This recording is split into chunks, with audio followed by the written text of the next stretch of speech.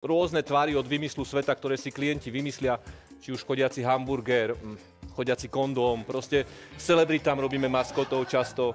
Vedeli by ste urobiť maskota aj z toť Mariana? Ale ktorého teraz? No z teba. Mňa. Čeky by bol dobrý maskot, lebo on má také charakteristické okuliare a tie by na maskotovi vyzerali veľmi dobre, aj ten účes je veľmi pekný. Ale pán Hudák by bol super tiež. E, Tam je problém, maskoti musia mať výrazné oči a tam je to... Asi hotový.